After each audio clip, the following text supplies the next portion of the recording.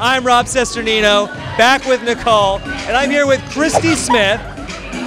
One, one of my, one of We haven't seen each other like years. yes, it's been what six years, No, like more like seven and a half seven years. and a half years. Holy It only feels like six. oh my god. Yeah. Uh, Christy Smith, one of the members of Survivor. One who be able you got me off the show. No, it wasn't me. Loser. Just like Boston Rob says, it wasn't just me. There were other people involved.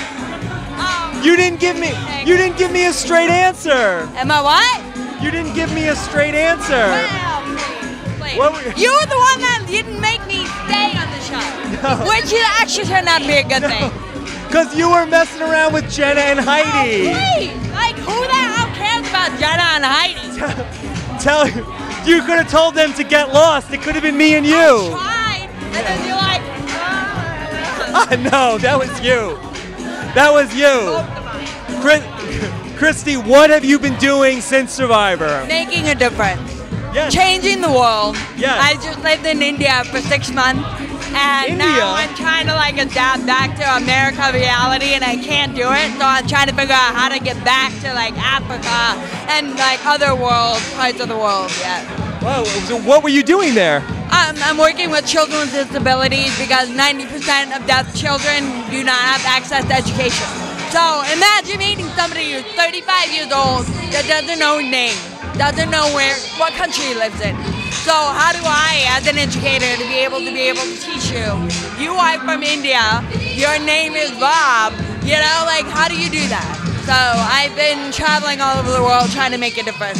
Wow.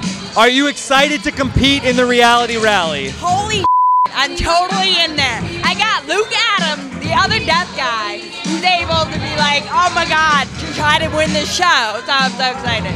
I'm excited. Yeah. I'm with the hardcore Amazing Race guy. Okay. Well, Christy, good luck in the reality Thank rally. you, thank you. So, So- am I gonna kick your ass? What? I gotta get him back. I better. Okay. We'll see. We'll see. I'm not that good at reality rally. Yeah, I know, I know. Well, Like, we're survivor people. We don't do the whole, like, oh, let's do the challenge checkpoint kind of thing. It's not our steal, right? All right. Well, Christy, great to see you. I'll see you a lot this weekend. Enjoy your time at Pechanga and the you. Eagles Nest. Thank you, Bob. Thank you. It's really good to see you. It's really good to see you. Oh. Awesome.